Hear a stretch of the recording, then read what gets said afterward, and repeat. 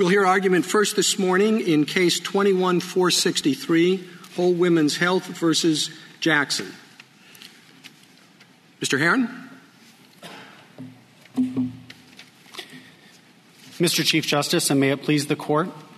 In enacting Senate Bill 8, the Texas legislature not only deliberately prohibited the exercise of a constitutional right recognized by this court, it did everything it could to evade effective judicial protection of that right in federal or state court.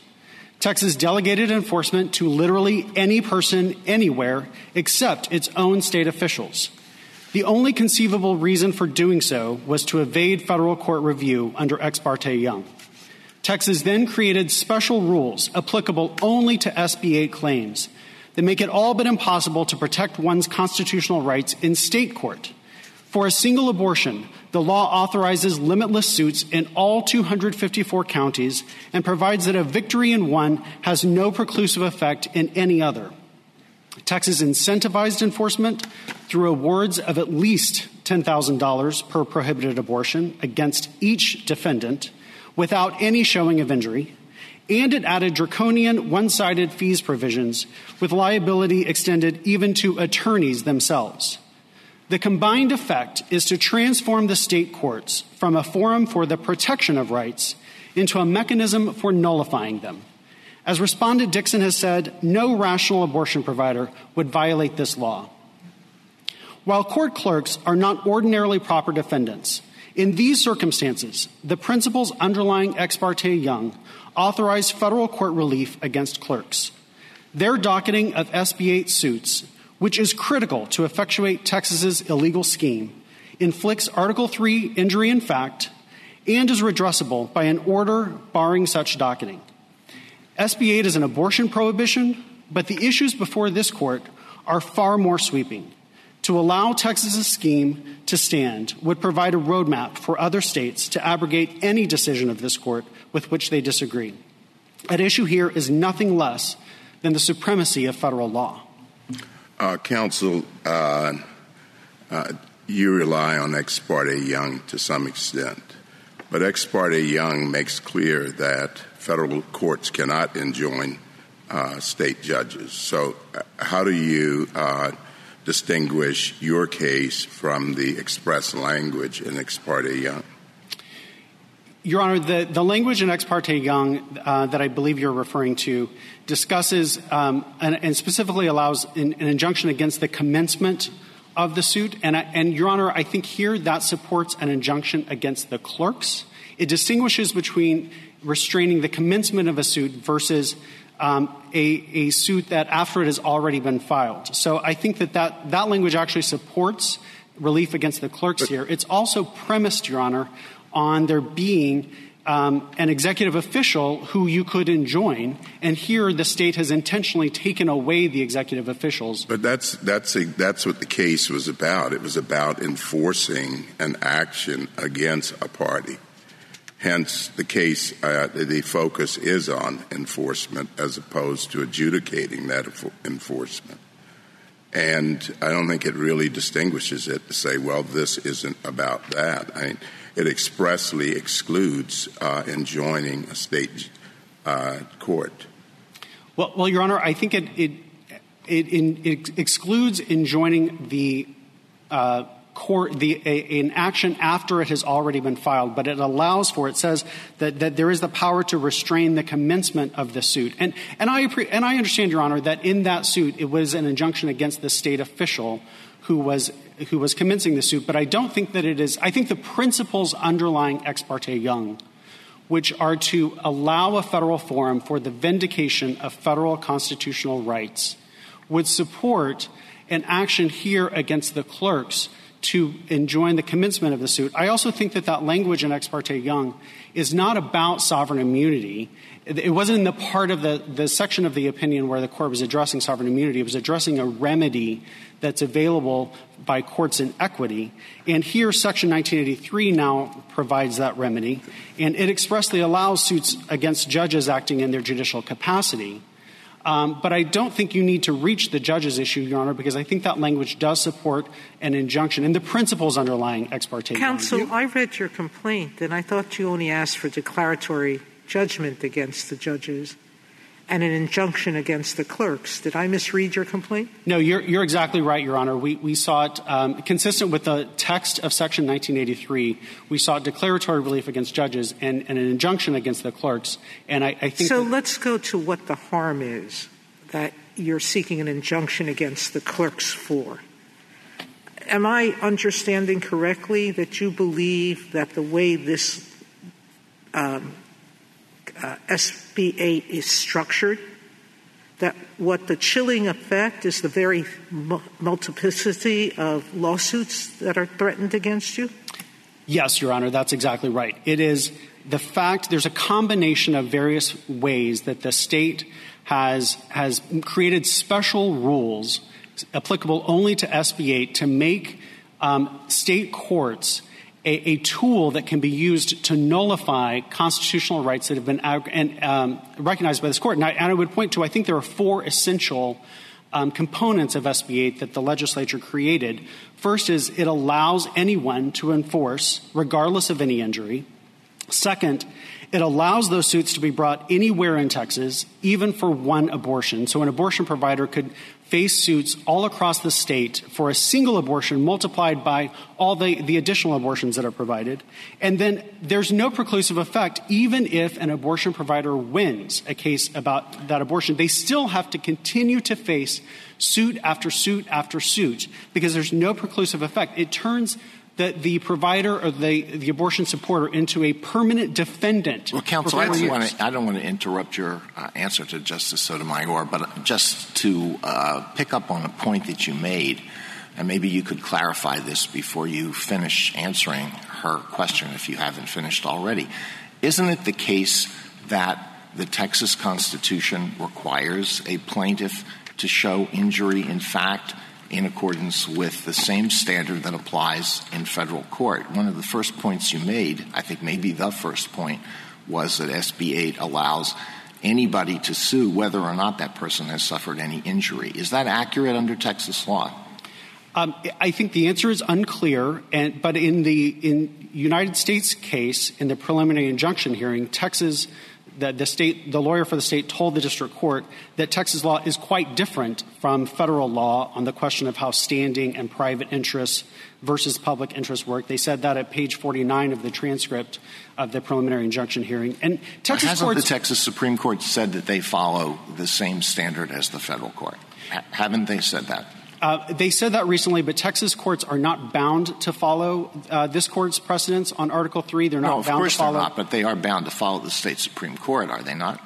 Uh, they are, but the Texas court has ne- this Texas Supreme Court has never addressed a law like SB 8. And clearly the legislature thought that it could create standing by creating a cause of action and, and give everyone an injury. But even if, even if that's correct, even if an injury is required, it wouldn't stop uninjured people from filing suit. And it is the filing of the suit that is the point here. That it is the well, the, counsel. It, the matters that you're talking about now, it, they're essential to your argument, right?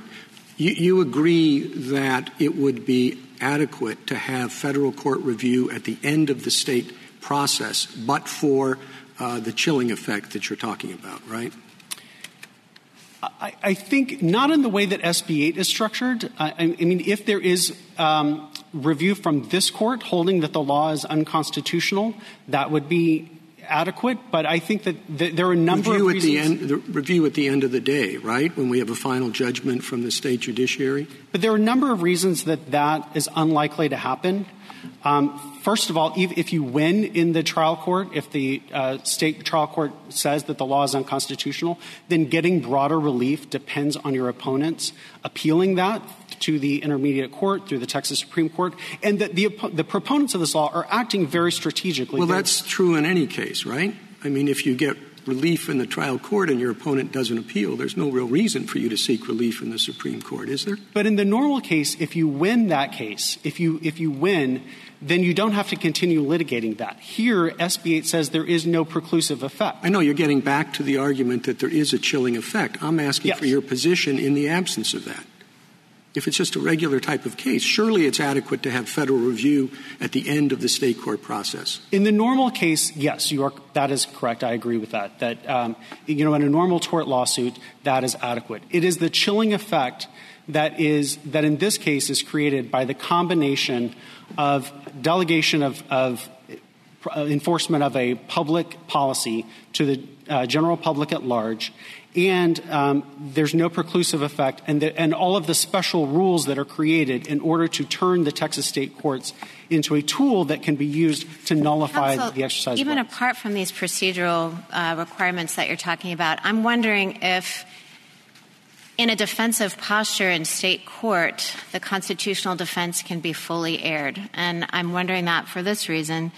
The statute says that a defendant may not establish an undue burden, and this is even assuming that the defendant can satisfy third party standing rules because the statute says it has to be Craig versus Boren, not the regular abortion um, third party standing rules. But it says that a defendant may not establish an undue burden under this section by, and this is D2 in this section, arguing or attempting to demonstrate that an award of relief against other defendants or other potential defendants will impose an undue burden on women seeking an abortion. So I take that to mean that a defendant can only say an award against me would place a substantial obstacle. And that's not the full constitutional holding of either Whole Woman's Health or June Medical. It's looking at the law as a whole and its deterrent effect. Do you read that the same way? I, I completely agree, Your Honor. So if that's the case, the full constitutional defense cannot be uh, asserted in the defensive posture. Am I right? I, I, think that's right, Your Honor. That the and the and the title of that section that you're that you're referencing is called limitations on undue burden defense. Clearly, it's not only the procedural rules that t- the Texas legislature has tried to change the substantive rules that this court um, applies uh, to protect the. the so does that mean you cannot get full review even on the back end if it goes up through the Texas Supreme Court and up to us the way the statute is structured? We would have an argument, Your Honor, and, and we would obviously make the argument that that provision of the Texas law is is unconstitutional because it conflicts with this court's precedents um, in in Casey, but. Um, but, Your Honor, it's unclear exactly how the Texas um, courts would apply that, whether they would follow the undue burden standard. And clearly, what the legislature was trying to do was to, to limit the undue burden defense. Well, wouldn't they difficult. be wouldn't they be obligated under the supremacy clause to uh, apply the federal constitution as opposed to a provision of a state statute that purports to preclude them from considering a constitutional claim? They, they would, Your Honor, but um, so then your argument is that they would not follow that they would not uh, abide by the Constitution. I, I'm not suggesting that they would not abide by the Constitution. What I'm saying is that even if you have to prove that undue burden defense in every single case, it is you, you, we wouldn't say, and if the law, if the state of Texas had passed a law making it a, a criminal violation to uh, provide an abortion after six weeks. That there's no problem because you can simply raise undue burden at trial, it, at your criminal trial. You, this court's precedents allow pre enforcement relief, allow you to come into court and say, I don't need to violate the law in order to first raise my constitutional defenses. I can come into court um, under Ex parte Young in Section 1983 and seek a ruling um, that my, my constitutional Counsel, rights are being violated. We have laws that preclude the enforcement of judgments in which process has been denied, where you're not given an opportunity to air your claims. Justice Barrett pointed out to a provision of this law that says you can't present this claim this way. All right? Whether the ju- what the judges will do is irrelevant. I thought the essence of your argument was that the law as law is precluding you from using the judicial system as a neutral arbitrator. That's right, because even if we raise a successful undue burden defense in, in one case, you have to do it again in case after case after case. Well, it doesn't really matter. The point is the, that it's not, it's not a neutral arbitrator, it's an enforcer being tried being used as an enforcer. I, I agree with that, Your Honor. And but Your Honor, here the, the point is that regardless of the outcome of the case, it is the threat of filing an unlimited number of cases in county in counties all across the state where there is no preclusive effect and where the state has even made it so more difficult to get an attorney by making attorneys liable for fees uh, for the other side's fees. Mr. Hearron, all of that creates a threat. Yes, Your Honor. Keep going. Sorry. Uh, uh, the, I, I was just going to say that the combination of all of those factors together creates a chilling effect that is preventing the exercise, and that is the, under this court's precedence an, an irreparable injury. Can we talk about ex parte Young uh, a little bit? Uh, you make the point uh, correctly that usually uh, you can get pre-enforcement review in federal court when it's enforced. Uh, a law is enforced by a state prosecutor or state executive official. That's longstanding uh, law. The issue here is different because it's private enforcement in state courts. and that raises a novel issue for us about how to apply ex parte Young. The ex parte Young principle is that those who enforce uh, the law can be enjoined or can be sued in pre enforcement suits in federal court. But as Justice Thomas points out in the two paragraphs at the top of page 163 of Ex parte Young, state courts seem to be carved out from that. So that's the tension. I think you identified it. The principle of Ex parte Young versus the language at the top of 163. For me, that's been a real sticking point in trying to sort this out. Now, one, one answer you didn't give is that subsequent law says that when state courts uh, entertain private civil suits, they enforce state law. Uh, one of Shelley versus Kraemer being the most prominent landmark example of that. So can you fill in the gaps there and explain to me how we should think about the ex parte Young language in light of how we conceptualize state court enforcement of private civil suits now? Uh, yes, Your Honor. So I think I think that the most straightforward way to apply ex parte Young or to allow um, relief here under ex parte Young is against the clerks, as I've said, because uh, that would stop the commencement of the suits and wouldn't create any of the problems raised in ex parte Young itself about stopping the, the adjudication. So I think, sorry to interrupt, no, but I think Justice Thomas's question was also getting at, though, I, th- I, take the point distinguish the judges from the clerks. Are the clerks subsumed within that language in ex parte Young? And you're saying we shouldn't do that. And I just want to hear your answer. Why shouldn't we do that?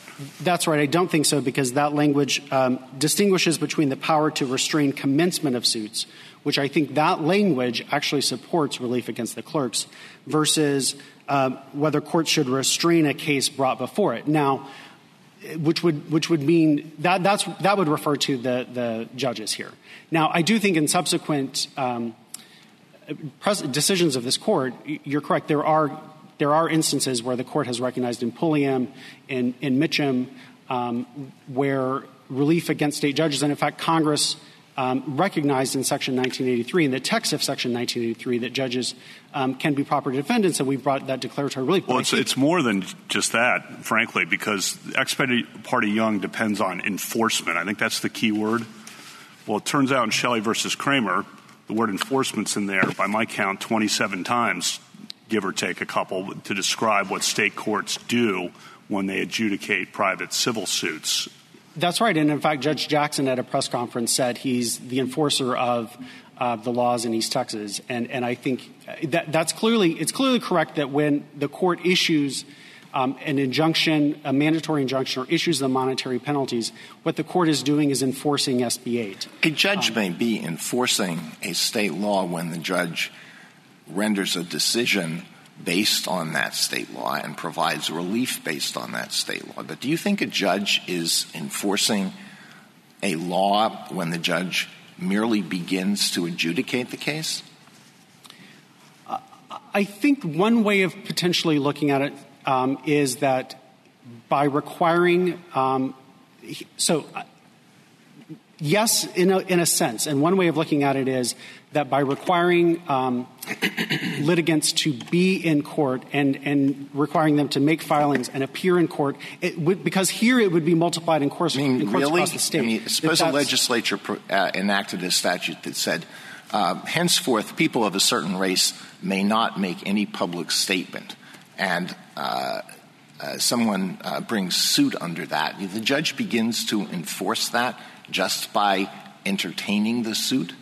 I think even, in, in even if it's certain that at the end of the case the judge is going to say no this is an inv- this is an unconstitutional statute i think in certain circumstances that even the, the in, in a situation like sb 8 where the point is the filing of the suit and the point is the making you appear in courts all across the state over and over again, making you a permanent defendant. Oh, that in these in these circumstances, yes. I'm sorry, oh, Justice Breyer.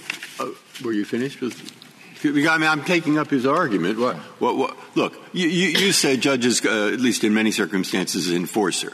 There are four billion tort suits in the United States. Okay, and probably in three billion of them, somebody thinks something's unconstitutional. All right, so can they all sue the judge? No, Everybody goes into federal court, sues the judge in no, the state court? All right. What's the difference between this case where you think he's an enforcer and four billion other cases uh, where you've read their briefs? All right. You understand their argument. What's your response to it? The, the, response is that under the rule that we are advancing here is that where a state is trying to nullify the exercise of a right, a constitutional right that's been recognized by this court by delegating enforcement to the public – and uh, taking away the, the normal, ordinary executive officials, and then also creating special court rules I, um, in order to, to turn the court system. I, I, we're, not, we're not saying that judges or clerks um, are intending to do anything here, but, but it's the rules that have been created by the Texas legislature that turn courts into a weapon that can be used to uh, nullify constitutional you rights. might appreciate that the idea of suing the judges sort of got our attention. Uh, but is there even is there even a case or controversy in such a suit? Um, I understand the position of the of the plaintiff, exactly what he or she wants. The judge is not necessarily adverse to that. The judge's role is to issue a decision. The idea of someone who's going to decide a question, that person is not automatically uh, adverse to the person who asked the question. And that seems to me to raise a real problem under uh, the case or controversy requirement. So I think there is a case or controversy. And if I could address the clerks first, that there, there's adversity in a case or controversy against the clerks, Your Honor, because the clerks are saying they have a duty under state law to docket a petition to, to um, issue summonses, and we are saying that the, even the initiation of an enforcement proceeding violates constitutional rights and that they should not docket. That is adversity. It doesn't matter whether the clerks um, agree with the law or want to defend the law. I mean, that the clerk, a clerk performs a, a, ministerial function. Somebody shows up with a complaint, wants to file a complaint, and assuming the formal requirements are met, the clerk files the complaint. The clerk doesn't have the authority to say you can't file this complaint because it's a bad complaint. What if the judge, uh, the presiding judge in a particular jurisdiction, said, "Okay, fine." Uh, you don't want the clerks filing these things. If anybody shows up with an SB 8 complaint, call me and I'll docket it myself. Then what? Well, Your Honor, that's that's why we've asked for declaratory relief against the judges. But I think that I do think so you that relief get to the, the judges. clerks. This business about the clerks is that? No, I do yeah. think that relief against the clerks, Your Honor, would would alleviate most of the harm and would thaw the chill and would allow abortion providers to understand. And, and in fact, the ministerial nature of their docketing is exactly what makes them a proper defendant here. We know that clerks will docket every SB 8 petition that is brought forward, and the state has encouraged and it has incentivized enforcement by um, offering $10,000 or more um, bounties effectively and by lowering the barriers of entry uh, for people across the state by allowing anyone to sue without having to show an injury, by allowing them to sue in their home county, and to not have to worry about paying the other side's attorney's fees and even get their own attorney's fees paid. So we know there will be enforcement, and the ministerial act of the clerk's docketing is exactly what the, the state has made the clerks an essential role in, the, in this machinery that they have created to nullify constitutional rights that have been recognized by Counselor, the are you arguing that there's a constitutional right to pre-enforcement review? And if so, how do you reconcile that with Sheldon versus Sill? So our, our first uh, argument is actually that Congress created the right in Section 1983. Assume we don't go. Assume I don't buy that. So I think that um, yes, there is, and Ex parte Young recognized that um, in these circumstances where it's not going to be where the penalties are so severe um, and where there is it's, it's difficult to find someone who is willing to even violate the law for a test case. I, I think Ex parte Young addressed all of that and said that, in fact, there is a, a procedural due process violation. It's okay. It, I, I, think there is language in Ex parte Young that favors you, and I don't think Thunder Basin, I think Thunder Basin assumes that there might be some circumstances in which pre enforcement review is constitutionally required. Um, in this context, presumably that might happen in state courts even if there is some sort of constitutional right to pre enforcement review, need it be provided by a federal court? I'm sorry, I missed the last part of the question. If there is a constitutional right to pre enforcement review, on your reading of Ex parte Young, does it have to be provided by a federal court? Uh, I think Ex parte Young uh, does support in federal court, yes, in, in part because state court uh, review in circumstances like in Young and here is inadequate for a, a number of reasons um, that, I, that I'm happy to get into. Thank you, counsel. Uh, Justice Thomas, anything further? Justice Breyer? I'd like to just be sure I have this. Your basic point, I take it here at this, as we've discussed it, is this kind of a private lawsuit is not an ordinary tort suit. Okay? So I've tried to write down the reasons, and I want you to add anything I leave out. One, anybody can sue. Well, okay, debatable. Two, anywhere in Texas. Texas is a bigger problem than Rhode Island there. Three, it has no preclusive effect. Jones 1 sues the clinic, clinic wins, Jones 2 through 4,000 can sue. Four, the attorney's fees are very heavy. Five, uh, and they don't apply uh, both ways. Five, the uh, penalty of $10,000, etc., is heavy. And six, you are limited, if you are a defendant, as to which kinds of defense you can make in respect to there being an undue burden uh, which is a problem because most of the undue burden cases speak generally of the effect of the law of the state, not on this particular defendant. Okay? I have six that I caught from you. Is there a seventh? I have two more, Your Honor. Okay. Um, the first is that damages are not tied to the amount of any harm, which would be uh, normally the case in a tort suit. And the, the uh, second one is that SB8 provides for a mandatory injunction if there is a uh, successful claimant to prevent further violations, not to prevent further harm to the claimant. It's, it's not tied to, the, the mandatory injunction is not tied to the harm. Thank you. Justice Alito? I suppose that.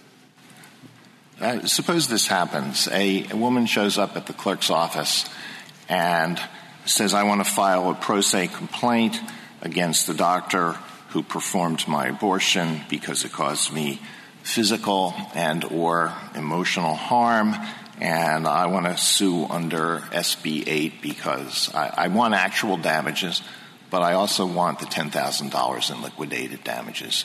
And you say the clerk should say what? The clerk should reject the filing of that lawsuit. Thank you. Justice Sotomayor? I presume that any other lawsuit based on common law torts, emotional infliction of harm, breach of contract, medical malpractice, whatever else was available, would still be available to that woman. If there is a common law tort lawsuit that, that is not an SB 8 lawsuit, yes. Contract or otherwise, common law tort or contract. Yes. Thank you. Justice Kagan? Uh, Mr. Hearron, if I could turn technical for a minute. Um, should one of your arguments prevail, or another argument in support of your position prevail, doesn't matter exactly which argument it is to me, what um, exact relief are you requesting? We are requesting um, an injunction. So we have a, a, pending class certification motion for a defendant class against the clerk. So we would be requesting an injunction um, against the commencement or the docketing of lawsuits uh, against the clerks uh, of the across the state of Texas, as well as um, injunctive relief against the state executive officials for their uh, residual authority to um, enforce SB 8. I mean, suppose I think, um, I mean, tell me if I'm wrong on this, that just the procedural morass we've got ourselves into with this extremely unusual law is that we would really be telling the Fifth Circuit, again, if your position prevailed, um, that the district court had to be allowed to continue with its preliminary injunction ruling. Is, that correct? Is that what we would be doing? Uh, I think technically what you would be doing is affirming the district court's uh, denial of the respondent's motion to dismiss, which would then allow us to proceed to uh, our pending preliminary injunction motion and pl- pending summary judgment motion and pending class certification motion. Yeah. And while the district court does all that, which, we're, which we would be saying the district court should go do, um, do you, have you made a motion for interim relief? I mean, I know that there's a motion for interim relief in the uh, United States versus Texas case. Um, but if you were to prevail, we wouldn't even have to rule on the United States versus Texas case. You know, we could, that's very complicated for other reasons. We could just sort of leave that be. But but um, but but the the motion for interim relief is in that case, not in your case. Am, am I wrong about that, or do you have a motion in your case that would enable interim relief?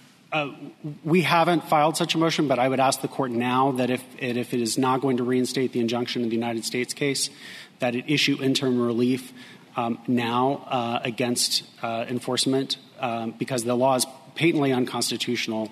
Um, and if these are the correct defendants, then um, then enforcement should should flow. So we would ask the court to to issue such interim relief. Thank you, Mr. Hearron. Would the chief permit me a follow up on that? Sure. Counsel, if we vacate the Fifth Circuit's order orders basically staying the district court proceedings, um, presumably that would vacate its denial of the stay that you had asked from the district court order. We reinstated the district court order, you would have a stay in place, wouldn't you? So, so technically, there are two stays in place one that was issued by the district court and one that was issued by the Fifth Circuit. Um, and if you were to vacate those stays in the interim, then we would be able to go back to the district court and ask for a, you know, an interim relief in the, in the district court. Well, were you granted a stay of enforcement of the law? Uh, were we by granted? the district court? Uh, we, were, we have never gotten to that point, Your Honor. Ah, okay. Thank yes, you. We, we did I not forgot. get it. Thank we, you. Yeah. Justice Gorsuch? I do have a couple of questions. Um, on, on, chilling effect, uh, do you agree that um, other laws often have chilling effects on the exercise of constitutionally protected rights that can only be challenged defensively? Um, not to this extent. I mean, uh, yeah, but, but do you agree may... that there are laws, defamation laws, gun control laws, rules during the pandemic about the exercise of religion that discourage and chill the exercise of constitutionally protected liberties? Uh, yes, and, that they can only be challenged after the fact. Uh, I'm not sure that they that all of those laws could only be challenged after the fact, but there may be some. Certainly, there are cer- certain circumstances where that's true, right? That's probably correct. Okay, so it's a line drawing between those cases and your case in, your, in, your, mind. Okay. And then on, on the relief, uh, am I understanding you correctly that, that relief against the clerks you think is sufficient for your purposes? Uh, I think that it is. Uh, it would go most of the of the way to getting the relief that that we need in order for abortion providers to begin providing. Again, we we do think that it is also appropriate for a declaratory judgment against um, the judges, but I think that the clerks, the relief against okay. the clerks would. So if that, if that and, and, and, you agree previously, they're under obligation under state law to file everything that comes in without looking at its contents or judging its contents, right? Yes, although I think that there are circumstances in which, for example, a, a judge may direct that a particular um, person may not file because they have filed too many frivolous lawsuits, for example. But there that's are, pursuant to an, a judicial order. Yes. But otherwise, they're obliged to file everything that comes their way. Yes. Okay. And, and, and so and you'd say the Constitution overrides that requirement in this case? Yes, we believe okay. so. And what, what, about the cases where SB 8 could be constitutionally applied, consistent with Roe and Casey?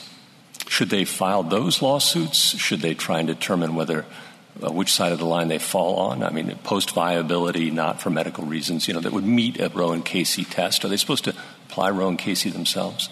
I, I don't think. Um, no, I, I, think that they should be enjoined from docketing any SB 8 lawsuits because including constitutional ones. But but I I think that um, that is that would the, the existence of those claims is not chilling the exercise of constitutional rights here. So, but I exactly. Do, but, but you'd join them anyway. But I do, yes, because and and that's consistent with the relief that has. That and if and if a clerk goes goes ahead and dockets a a permissible non-chilling uh, petition, uh, a federal judge uh, could find him in contempt and, and and put him in jail, right? Um, I think that would be there are there are standards for criminal due process. Uh, there are due process standards. But subject to those due process standards. Subject to those standards, but I think that those would be extremely difficult you know, you. to meet for the most part. And, and we, we, we believe that clerks will, will follow the, the injunction in good faith. Justice Kavanaugh? A couple follow ups. Uh, to Justice Kagan's question, I think you also had a pending TRO uh, in the district court with the preliminary injunction and yes. the class certification. Is that accurate? Yes. Okay.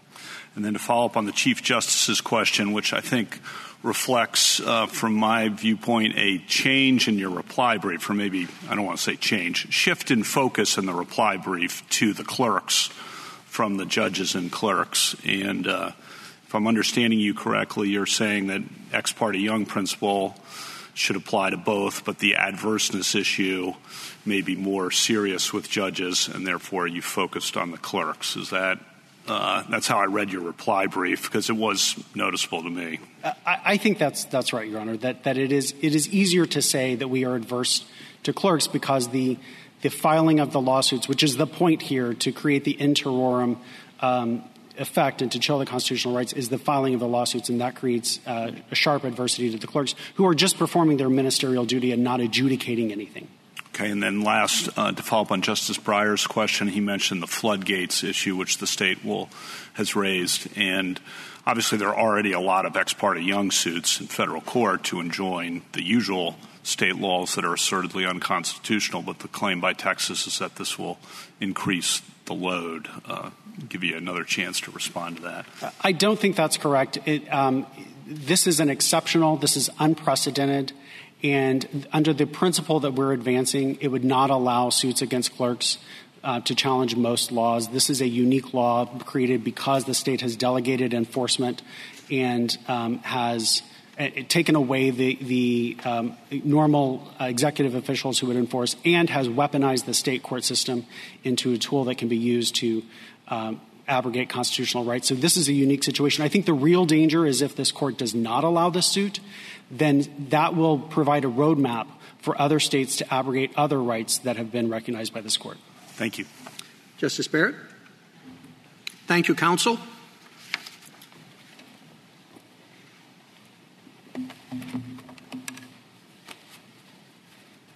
General Stone? Thank you, Mr. Chief Justice, and may it please the court. Petitioner's pursuit of an injunction suffers from two fundamental problems. First, none of the individuals that petitioner sued are appropriate defendants under well established Article III and equitable principles. Second, petitioners ask for an expansion of access to the federal courts that only Congress, and not this court, may provide. Petitioners' Article 3 and equitable problems begin with what they really want an injunction against SB 8, the law itself. They can't receive that because federal courts don't issue injunctions against laws, but against, but against officials enforcing laws. No Texas executive official enforces SB 8 either, and so no Texas executive official may be enjoined. Petitioners then turn to state court judges and state court clerks, and apparently in this court now narrow their focus to state court clerks. But even they don't suggest that either judges or clerks act unlawfully in the ordinary course by adjudicating a case or receiving a complaint. So petitioners' harms are not fairly traceable to any, unlawfully, to any allegedly unlawful behavior by state court judges or clerks. And this court recognized in Ex parte Young itself that such an injunction would be a violation of the whole scheme of our government. State judges are presumed to faithfully apply federal law and this court's decisions. If they do not, this court may exercise appellate review.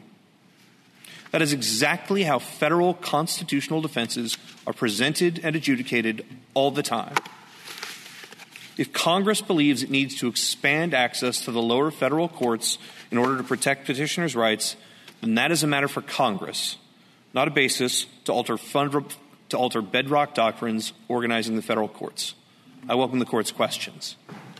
Um, Mr. Stone, uh, the, um, why wouldn't you consider the uh, SB 8 plaintiffs uh, to be uh, sort of a private attorneys general? If the attorney general or other state officials don't enforce the law, uh, would it be that unusual to consider them as acting in concert with the state to enforce a state preferred policy? Two points, Your Honor. First, every tort action undoubtedly advances a state preferred policy. The reason why they're not acting in concert with or cannot be called agents. Well, but usually when you think of traditional torts, there is a duty, there's an injury uh, to the individual. It's a private matter. Uh, there is no requirement here that there be an injury to the plaintiff. Your Honor, the Texas Supreme Court has followed Article 3 requirements in, in terms of injury in fact that doesn't need to appear on this face so of the So what would that injury be in this uh, under SB 8 if it's an injury in fact? One example could be akin to the injury suffered in the tort of outrage, where an individual becomes aware of an uncompliant abortion and they suffer the sort of same extreme emotional harm. That would ground an Article 3 injury for purposes of Texas law. That would be sufficient to satisfy the Texas Article 3 style screen that addresses some of my friends on the other side's concerns about an unlimited set of lawsuits or that anyone could possibly bring an SB 8 action. Congress passes laws all the time that don't expressly require that individuals show, for example, their own personal injury or traceability or redressability, but nonetheless, this court says those are fundamental requirements of Article 3 and the Texas Supreme Court traces that same requirement to its own constitutional analog, the open courts provision. Um, but I, I, I, forgive me, but I don't recall an outrage injury. Uh, what would that be? You said extreme outrage. That would be the injury. Well, the injury would be akin to the one suffered in a tort of outrage, where a person witnesses something that essentially they find to be so extreme and outrageous, causes them extreme moral or, uh, or otherwise psychological harm. That's Give how me an example of that.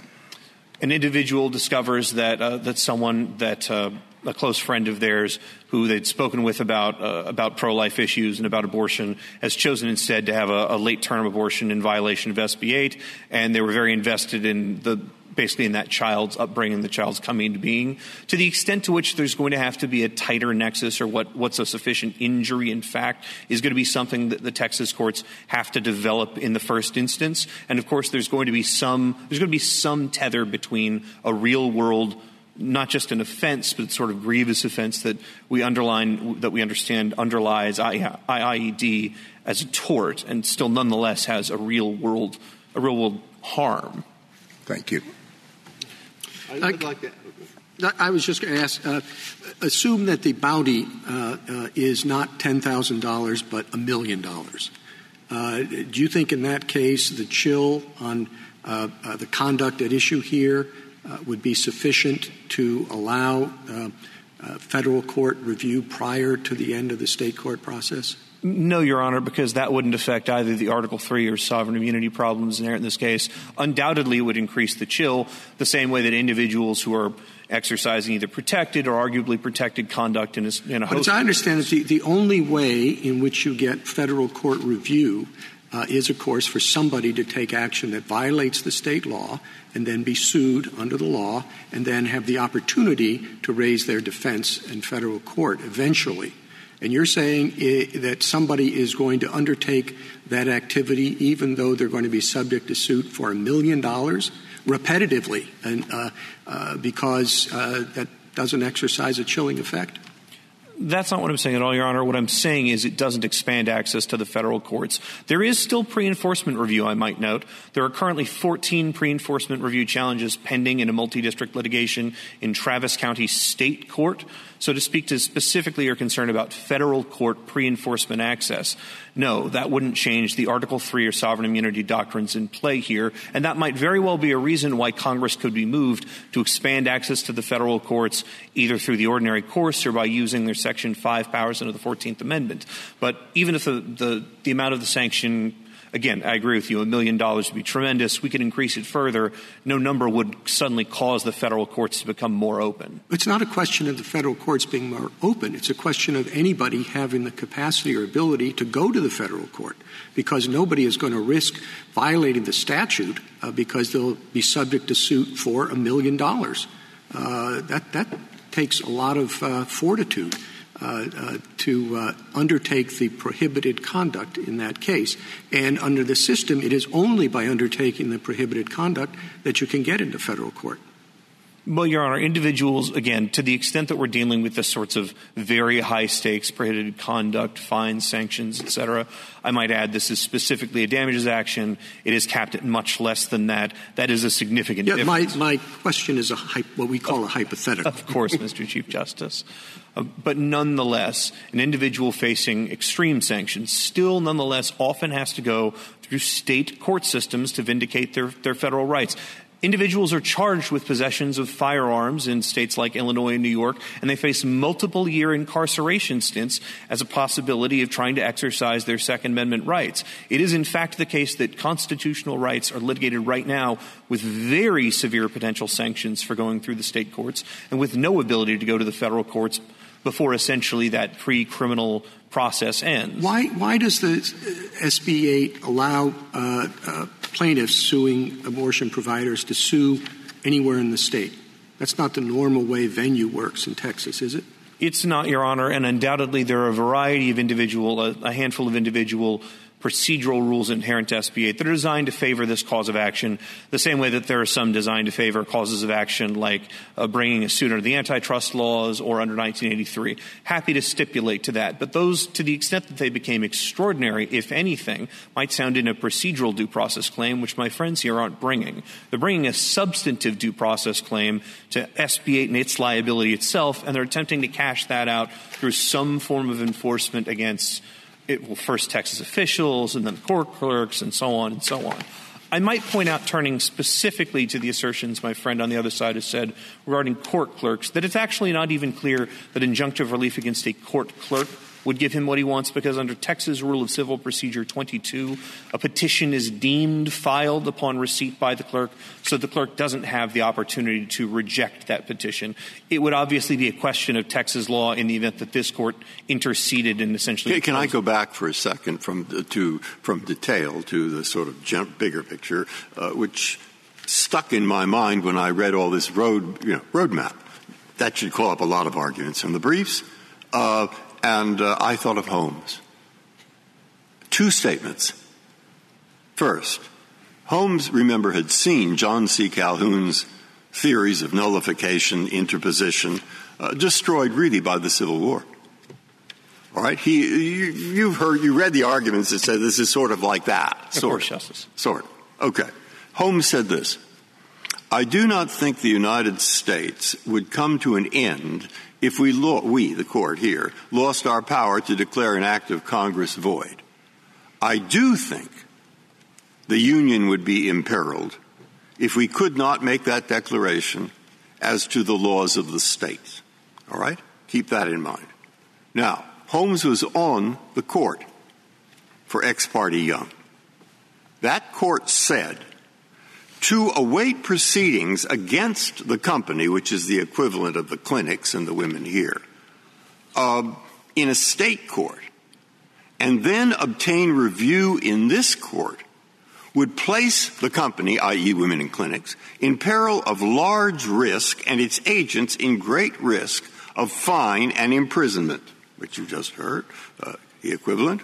Uh, this risk, the company, ought not to be required to take.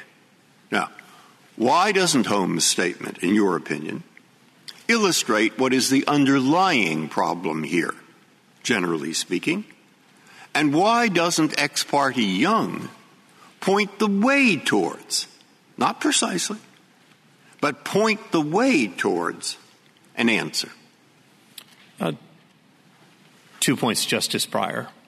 The latter being what you're describing would be something of an expansion of ex parte young, as I think even my friends on the other side concede. As this court noted that an injunction against the courts themselves through the ex parte young device would have been a violation of our whole scheme of government. Well, this court in Grupo Mexicano said, specifically speaking about an expansion from a post uh, post judgment creditor's ability to distrain a debtor's assets, moving to a pre judgment creditor's ability to do so, that was simply too great of a novel, equitable innovation for this court to be able to permit itself to, to essentially innovate. To do something that would have been understood in ex parte young, in the very same opinion, as the violation of our whole scheme of government is surely a much greater innovation. And if this court is going to stand by its General word, Stone, I think what Justice Breyer is suggesting is that the entire point of this law, its purpose and its effect, is to find the chink in the armor of ex parte young. That ex parte young set out a basic principle of how our government is supposed to work and how people can seek review of unconstitutional state laws. And the fact that after, oh, these many years, some geniuses came up with a way to evade the commands of that decision as well as the command that the broader, even the even broader principle that states are not to nullify federal constitutional rights. And to say, oh, we've never seen this before, so we can't do anything about it, um, I, guess I just don't understand the argument. Let me speak to the latter point you're raising, Justice Kagan, first, and then turning back to the ex parte one, young one. This statute, on its own terms, specifically incorporates as a matter of state law the undue burden defense as articulated by this court uh, in Casey and subsequent cases. Now, there have been some previous questions regarding whether or not it has incorporated that in every in every particular regard.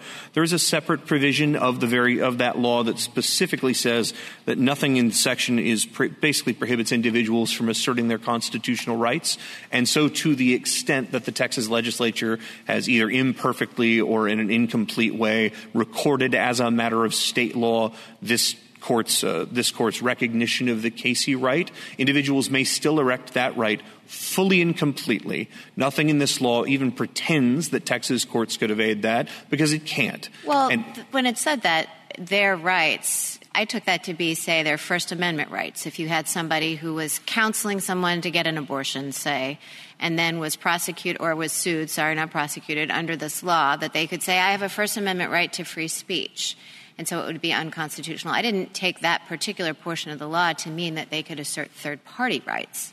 We're speaking about two different portions of the law, Justice Barrett. There is a portion that says something very closely tracking what you said. There's also subsection F, which says that nothing in the section shall in any way prohibit, limit, preclude a defendant from asserting that defendant's personal constitutional rights as a defense, and so on and so on. Aren't personal constitutional rights not third party rights? And so the clinic personal rights would differ from the rights of the woman who's the rights holder? There's a different provision, Your Honor, that says that individuals may raise the undue burden defense, the undue burden rights to the limit allowed by this by this court specifically. Now, it may be the case that those three provisions don't perfectly line up, and by by interpretative forces, that at some point a third party right that's recognized by this court can't be perfectly raised as a state law defense. If so, as in all cases, an individual can raise that particular piece or the entire case as a federal constitutional right that as a default, state court judges who swear an oath to the Constitution just the way that the justices on this court and the lower federal courts do are presumed that they will apply in good faith, and they are always subject to correction by this court in any appropriate case. What can't occur is what couldn't occur in, for example, New York Times versus Sullivan, or for that matter, Masterpiece Cake Shop. An individual there who thinks that they're going to be subjected to a state court process that's either going to be very difficult for them or otherwise unfair to them in terms of the merits of the decision is not permitted to go to a lower federal court and seek functionally an injunction against the state's trial courts. General, General Stone? Sorry, yes, Keep going. Keep going. I'm coming to the close of my point. I'd be glad to answer your question. Well, I, I think all these arguments were the same arguments that Minnesota raised in Ex parte Young itself. I mean, you look at the history of that case, it was an extraordinary controversy in the United States and in Minnesota. Uh, about the federal court review, and that itself didn't exist before Ex parte Young. In other words, that was an extension of pre existing doctrine to recognize a problem that the Chief Justice was identifying with uh, deprivation of constitutional rights and chilling on the ability to get uh, judicial review. So Ex parte Young sets out this principle that you can get pre enforcement review in federal court against state enforcement of laws that are assertedly unconstitutional. And 999 times out of a thousand, or maybe every time until this uh, case, that's a state executive official. It's a pro forma exercise, usually, to identify the state executive official. And Justice Kagan points out there's a loophole that's been exploited here uh, or used here, which is the um, private suits are enforced by state court clerks or judges. So the question becomes should we extend the principle of ex parte Young to, in essence, close that loophole? In other words, put aside the language in ex parte Young for a second, and that is strong for you, I agree. But the principle of ex parte Young and the whole sweep of ex parte Young would suggest extending the principle here, arguably. Two points, Your Honor. One, no, precisely because this court has disclaimed the power to create such an innovation in Grupo Mexicano. To the extent that were still an open question, the, my friend's arguments on the other side might militate towards having one exception there. But this court has already disclaimed the ability to give itself the power to essentially create a novel non traditional cause of action. And if the language that we're discussing in Ex parte Young means anything, it means that certainly an injunction running against a state court to prevent the adjudication of a state law case is something t- entirely foreign to traditional. Do you, do you, agree that there's state action when the state court clerk um, dockets the case? State action in the sense of the of the Fourteenth Amendment, perhaps. Yes, I suppose that a, a state court clerk taking on uh, taking on a clerk is acting as part of the state in that case. Yes, Your Honor. But, but the key part here is that my friends on the other side aren't even alleging that the docketing of a petition ordinarily is a violation of their, you know, is a violation of the 14th Amendment or is a violation itself. It's the nature that potentially later down the line, that SB 8 case might in fact be adjudicated negatively against them. A state court clerk a state court clerk who receives petitions and puts them on the docket, and a state court judge who is required to apply this court's precedents and, and everything else. They're not Article Three adversaries when they're doing that process. They're not committing well, I think the theory is that the enforcement of the law is adverse to the to the uh, plaintiff's interests and causes injury, and this state official, let's say the clerk, is part of the within the chain of state officials who have some connection, which is the language from Ex parte Young, some connection to enforcement of the law.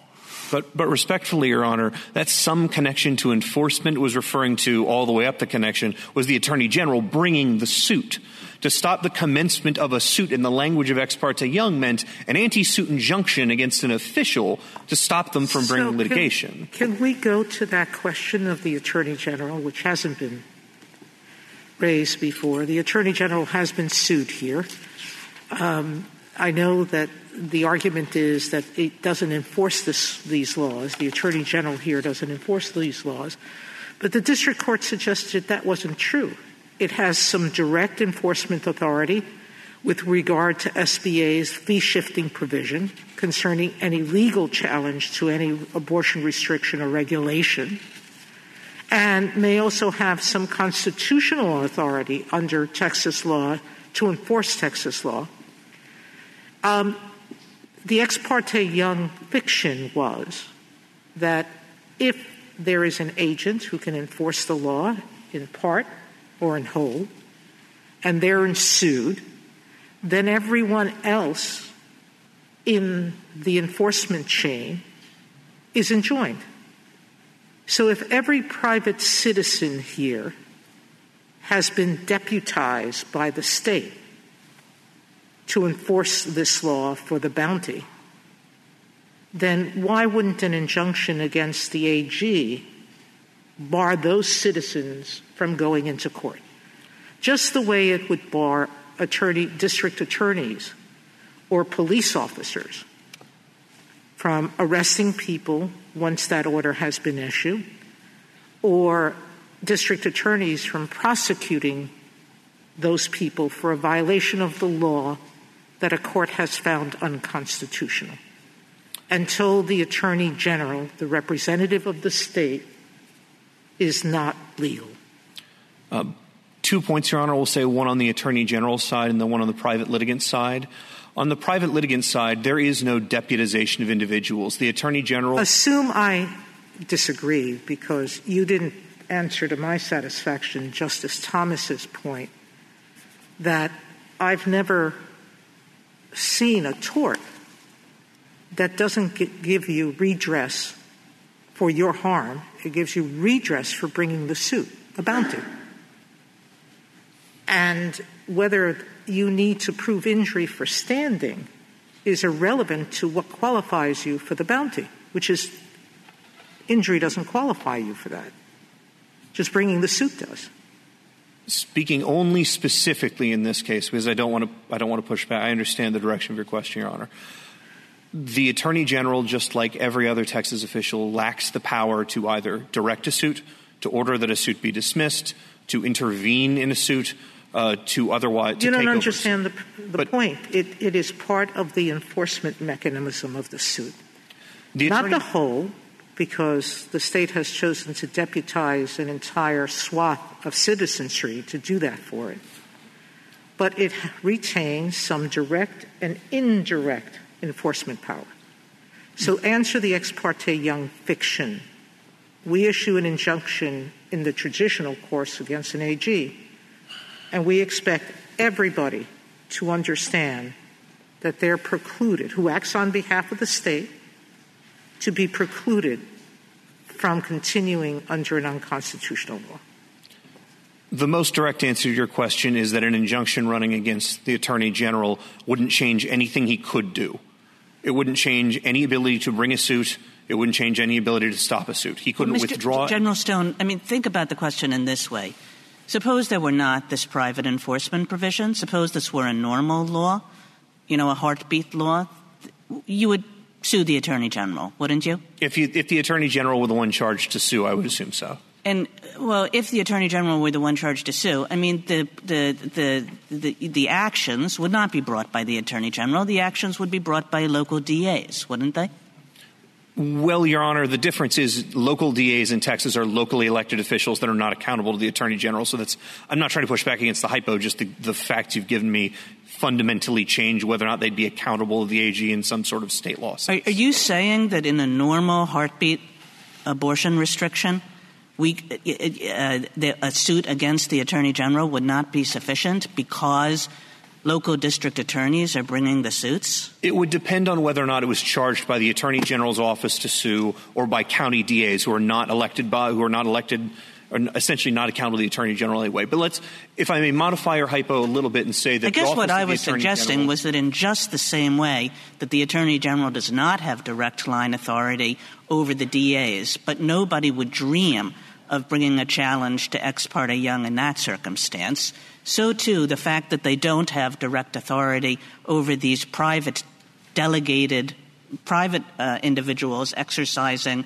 delegated power shouldn't matter for the same reason. In the example you're describing with county and district attorneys, individuals would be able to bring ex parte Young challenges against those individuals, to be sure, but not against the attorney general. And the key difference here would be those individuals, the county attorneys and district attorneys, would ultimately be able to enforce the law by bringing a lawsuit. The, the reason that we're sort of the hypos that I'm, I'm pushing back against here are that the, United, that the attorney general simply doesn't have any control of the procession of SB 8 lawsuits in any way. He doesn't have a mechanism such as in the qui tam context to take over over the litigation. He can't certify that a lawsuit is not in the state's interest or something that order and order it dismissed. He has none of those sorts of mechanisms whatsoever. Because of that, that can't possibly, at a minimum, redress the injuries of the petitioners unless this court were to say that private individuals who have not yet articulated they plan to bring suits or anything like that are somehow agents who are acting in concert with the Attorney General. The problem with that is that, again, we have no authority over them. Con- the basic concept of agency is that there's a principal and an agent, and the agent is responsible to the principal. The principal in this hypothetical, the Attorney General, exercises no supervisory authority whatsoever over putative, uh, putative suit bringers.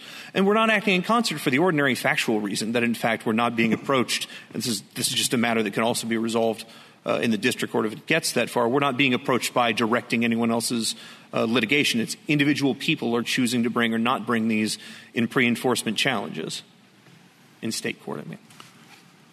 Can I ask you about the implications of your position for other constitutional rights? The uh, amicus brief of the Firearms um, uh, Policy Coalition says, quote, this will easily become the model for suppression of other constitutional rights, with Second Amendment rights being the most likely targets, end quote.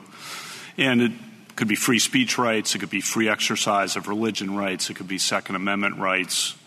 If this position is accepted here, the theory of the amicus brief is that it can be easily replicated in other states that disfavor uh, other constitutional rights. Your response?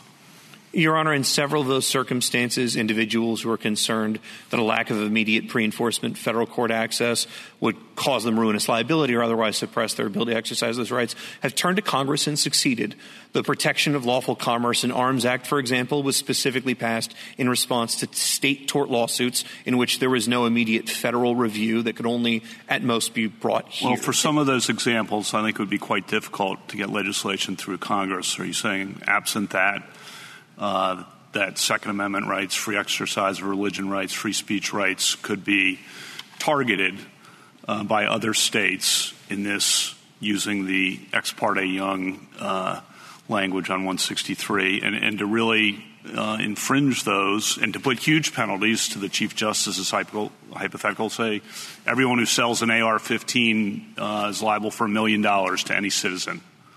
Um, uncertain what the Second Amendment status of the, that ultimately will be, which is where those laws will have purchase. Uh, would that kind of law be exempt from uh, pre-enforcement review in federal court? My answer is on whether or not the whether or not federal court review is available does not turn on the nature of the right.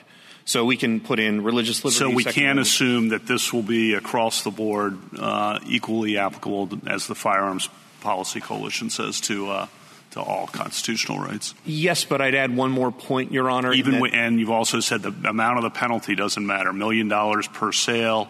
You know, anyone, a state passes a law, anyone who declines to provide a good or service for use in a same-sex marriage, million dollars, sued by anyone in the state. That that's exempt from pre-enforcement review.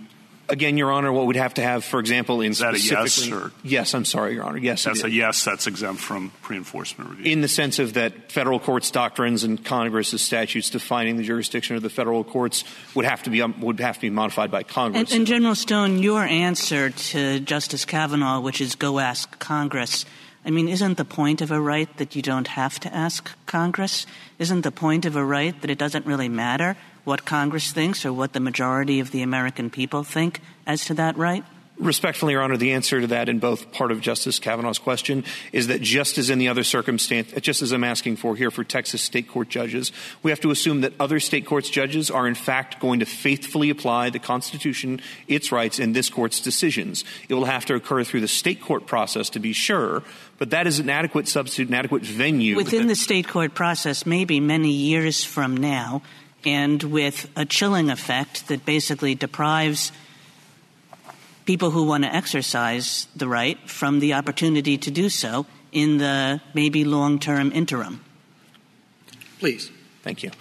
No doubt that's the case in many kinds of lawsuits, including constitutional ones, Your Honor, but no one's thought that litigation delays had constitutional dimension for purposes of expanding access to the federal courts before.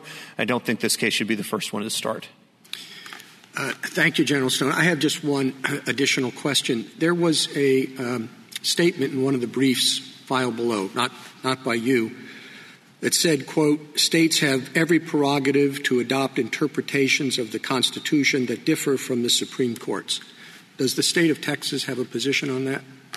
The state of Texas' position, Your Honor, is that the courts of the state of Texas will absolutely faithfully apply any decisions of this court as they understand them to, to apply to federal cases of federal law faithfully, and that the other officers inside, the other officers within Texas are bound likewise to, to take the interpretations from this court and federal law and to faithfully implement them.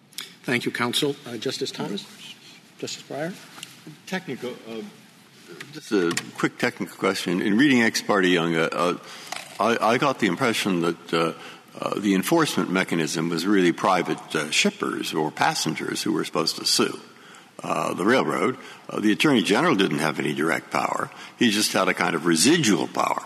So I looked up the Texas statute. Seems like the Attorney General here has the same kind of residual power. Hard to see that in ex parte Young because it was a contempt case, but, but it seems to be there. And they, they say this Attorney General, with just the residual power, uh, uh, we can go sue him.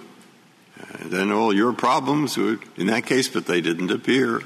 And uh, it turned out that the statute nobody enforced because it had been said to be unconstitutional in the AG's case. So is there a difference I overlooked? even given all of those provisions, Your Honor, even given all of those facts, nonetheless, this court in Ex parte Young described an injunction running in state courts and state clerks as a violation of our whole scheme. In this particular case, the Attorney General has no connection whatsoever, not even an attenuated one to, to the enforcement of that law of SB 8. Justice Alito? Oh, what can you tell us about the uh, state multi-district litigation? When were th- this law was enacted, I believe, in the middle of May. When were those suits filed? Um, where do they stand now? Are they being delayed as a result of the federal court litigation? How quickly might we expect to see a decision in that case? I can answer some of those questions, Your Honor. They were filed fairly promptly, uh, I believe, just before SB1's or SB8's effective date. There are currently 14 of them proceeding in a multi-district litigation. There's a there's motions for summary judgment are due 10 days from now. So I assume that the the judge is acting on a highly expedited schedule. As to whether there'll be post motions practice or other than that, I, I, couldn't say for you, but I have very little doubt the Texas courts are going to treat this as a case to treat very expeditiously. They were filed uh, around the time when SB 8 took effect or around the time when it was enacted back in May? I believe it was around when, when SB took effect. And are they being delayed as a result of the federal court litigation? It appears that, the, that, again, since a motion for summary judgment deadline has been set for 10 days from now, that they're continuing apace, even given this court's grant of certiorari. My understanding is that they involve only state law claims and that uh, the plaintiffs in those cases have not raised federal constitutional claims. Is that correct? That's incorrect, Your Honor. At least one of the litigants is Planned Parenthood, where they have raised explicitly the federal constitutional undue burden defense. So I know at least in that one, I couldn't swear to each of the others, but I know in that one they're certainly explicitly raising this court's articulation of the case you write. All right, thank you. Justice Sotomayor? Counsel, Grupo Mexicano talked about equitable remedies involving private parties. In 1789, we had just created a new system of government. So we never had an ex parte Young or any other injunctive relief between governments because we didn't have anything like this before in England or anywhere else. The system of government we have created. Um, now, I take and I listen to what Ex parte Young said about not interfering with the work of the coordinate branches, ongoing work of the coordinate branches. But one thing that we said in Cooper versus Aaron was equally important, and that is constitutional rights declared by this court can neither be nullified openly and directly by state legislatures or state executive or judicial officers, and these are the uh, key words, nor indirectly through evasive schemes. So, given what I just said, that that principle is inherent in the Constitution. Why am I limited by Grupo Mexicano? Why would I be looking to a history that can't exist by its very nature? What does exist are the words we said in Ex parte Young, which was we are charged by Congress in ensuring that federal rights are respected directly or indirectly. So, could you respond and tell me why we're limited by anything in terms of what an equitable remedy would be like assuming we were to find and you can challenge the assumption, but you'll waste your time. Assuming we were to find that this was intend this scheme was intended to chill abortions that were constitutional. Taking all of the assumptions as I'm obligated to, Your Honor, at a minimum, this court's statement in Grupo Mexicano saying that Congress was the one that vested the federal courts with equitable jurisdiction in the first place suggests that whatever equitable jurisdiction occurs in the courts occurs because Congress gave it to them. The court recognized a limitation in Grupo Mexicano that I don't understand that it was across a public private distinction, but was a separation of powers distinction between whether or not this court or Congress had to expand beyond traditional equitable remedies available. And if nothing else from Ex parte Young is significant on this point, the one thing that the violates our scheme of government point is relevant for is that plainly is an indication that that kind of injunction is not traditional equity. Justice Kagan? Justice Gorsuch? Uh, just a couple questions. With respect to the MDL that uh, Justice Alito was asking about, is there anything in that proceeding that would prohibit parties from bringing a pre-enforcement action against Texas's law for violating the Constitution? No, Your Honor. In fact, again, some there are individuals who are raising pre-enforcement SB 8 challenges so right now against. Is a pre-enforcement action in state court on this issue now? Right now, yes. And there's nothing to prohibit them from bringing one. Nothing to them whatsoever, other than identifying a private plaintiff who's made a reasonable threat of suing. Okay. And then on the chilling effect question, it's been suggested that the, the chilling effect here is different in kind because of bounties and the involvement of private persons. And I'd like you to address that um, often, constitutional rights, of course, can only be enforced in a defensive posture when an individual is faced either with uh, potential liability, punitive damages, but also, of course, civil pi- fines and even criminal sanction, including prison time. Uh, and I, I guess I'm, i, I want to understand your argument as to why this is, is or is not different in kind. Well, Your Honor, it's certainly not different in kind. In fact, it's much milder in degree than a variety of the constitutional rights we've been discussing in the state court, potential downside risks from failing in state court litigation. Again, in New York Times v. Sullivan, there was a there was a quite a uh, quite a great deal of exposure potentially from that defamation action, individuals suffering potentially criminal sanctions for Second Amendment rights all the time, uh, a $10,000 liquidated damages provision and potentially a fee shifting mechanism on top of it is comparatively mild compared to, again, incarceration for asserting a Second Amendment right. I mean, realistically, none of the complaints about the, about the plaintiff favoring uh, procedural rules in SB 8 would amount to anything even uh, considering a procedural due process violation if this law were about making widgets.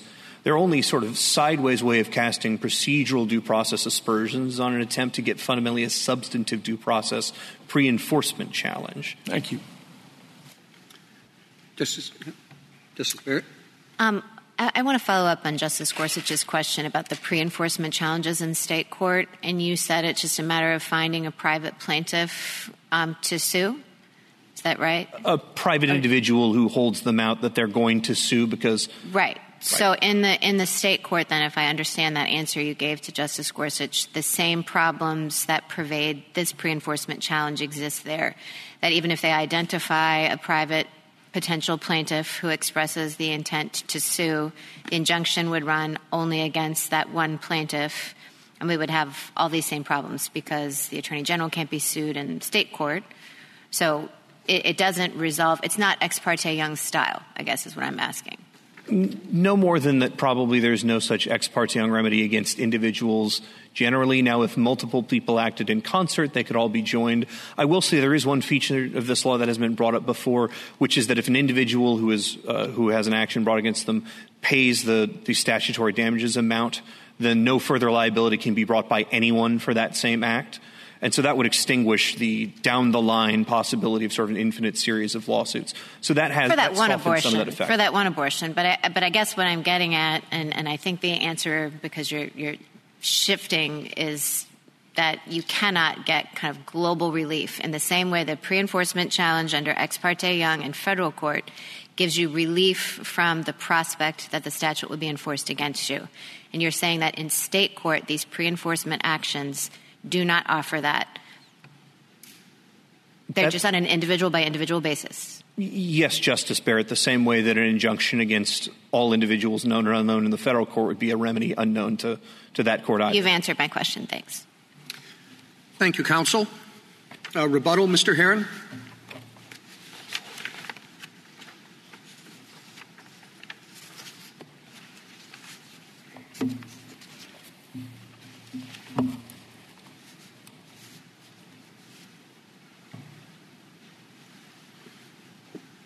Um, I'd like to begin by picking up on the point that, or the question that Justice Barrett was just asking. Those FIT 14 um, pending state court proceedings, any relief would be against only those uh, defendants who were uh, sued in those proceedings, the private defendants, they're not the state. And in fact, um, the, the, the, defendants that are acting strategically in order to preclude any broader review, they've now stipulated to temporary injunctions in order to, to prevent um, an injunction that might then get appealed and get broader relief from the higher courts. And the other, the other point about all of this is, and this is another special feature of SB 8, which is that normally in Texas law, Texas has a declaratory judgment act that allows um, citizens to sue the, the state of Texas or, relative, or the state agency um, under the Texas Declaratory Judgment Act to get that broader relief. And, and in SB 8 and Section uh, 171.211, um, SB 8 overrides the state declaratory judgment act and reasserts sovereign immunity to prevent exactly that kind of lawsuit against the state um, to seek broader review in state courts. Um,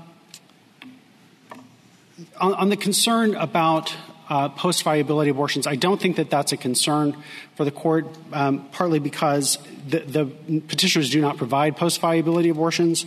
Um, and uh, under this court's precedent in Whole Woman's Health, um, that doesn't preclude a statute from being declared facially unconstitutional. So I don't think that that's a concern that the court needs to, to, to deal with. But at the end of the day, what, my, what the state of Texas and what my friends on the other side are saying is that clinics should just violate the law.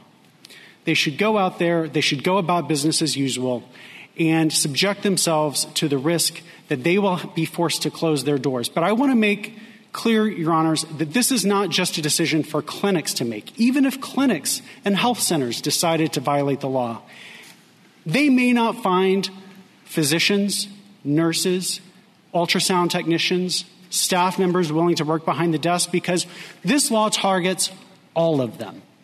Every single person would have to make the decision Am I willing to subject myself to the risk that I, of $10,000 or more, it's a minimum liability per abortion, plus the risk that I'm going to be haled into suits all across the state, and I'm going to have my, my ability to have an attorney uh, uh, taken away from me because my attorney may have to pay attorney's fees. Every single person. And that's exactly what this court addressed in Ex parte Young. Ex parte Young, and the reason the principles underlying Ex parte Young support relief here is one of the things that it said is that that the railroad may not be able to find an agent or an employee even willing to violate the law uh, to, to generate a test case. And so, Your Honor, for all the reasons that we've stated, we think the principles of, of Ex parte Young support relief here, and we ask that the district court's decision be affirmed. Thank you, counsel. The case is submitted.